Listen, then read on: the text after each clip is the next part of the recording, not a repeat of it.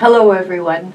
Today I want to discuss a silent and invisible threat that's affecting our community, radon gas. Radon is a naturally occurring radioactive gas that can seep into our homes and pose a significant risk to our health, particularly when it comes to lung cancer. In fact, Nova Scotia has some of the highest radon levels in the country, and unfortunately, our lung cancer rates reflect this alarming reality. So what exactly is radon?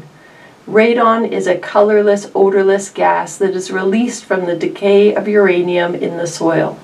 It can enter your home through cracks in the foundation, gaps around pipes, and other openings.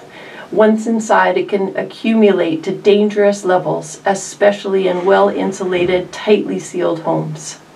When we breathe in radon gas, it can damage our lung tissue and increase the risk of lung cancer as a thoracic surgeon, I've seen firsthand the devastating impact of lung cancer on individuals and families. What's concerning is that radon exposure is the leading cause of lung cancer among non-smokers and the second leading cause overall. Even if you've never smoked a day in your life, radon exposure can significantly increase the risk of developing lung cancer. The combination of high radon levels in Nova Scotia and our already elevated lung cancer rates creates a dangerous synergy that we can't afford to ignore. The good news is that there's a simple and effective way to protect your family from radon, testing your home. Radon testing kits are widely available and easy to use.